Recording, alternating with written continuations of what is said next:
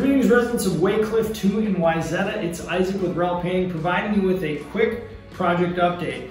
Uh, I'm sure you've noticed that the guys have been working diligently over the course of the last week or so and uh, they should be nearing completion here on what we're calling building number one at the uh, 218 and 228 address. Uh, they're, they're actively also working on buildings two and three with some prep work primarily, and we are forecasting that should the weather hold, both of those buildings will be completed by the holiday weekend. After the holiday weekend, we plan to come back on site and uh, begin work on the final building, what we're calling again, Building 4 over on 448 and 438.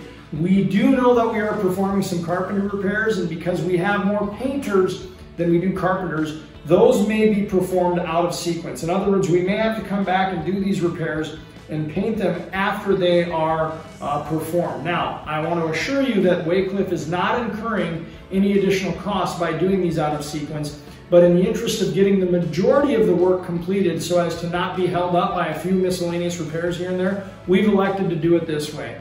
Thanks so much everybody for having us on site and you can follow the project progress right here on the blog.